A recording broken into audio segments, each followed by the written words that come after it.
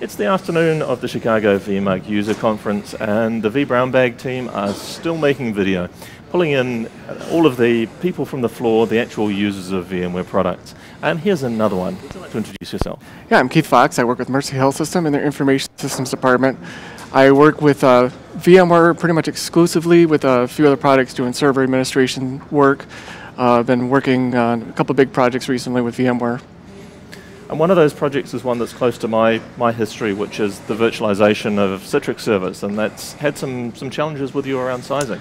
Yeah, uh, basically we're, we're trying to separate the system off uh, per a vendor, which is uh, Epic. We're using uh, the Citrix environment for Epic pretty much exclusively.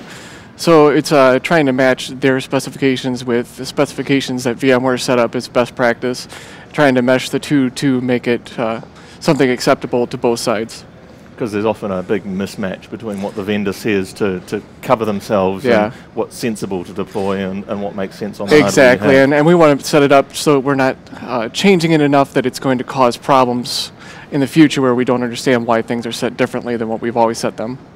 Great. Excellent. And of course, one of the big drivers for uh, the attendees to come in into a video with us is that this is the only way to get into the draw for the Home Lab. If you're the lucky winner of the Home Lab setup that the Chicago VMUG has assembled and is giving away today, what are you going to do with it? LAN party. uh, it, it's actually nice to be able to uh, have equipment to actually do testing on and to understand uh, you know, why things work, you know, use them without the fear of breaking a system that will lose you your job.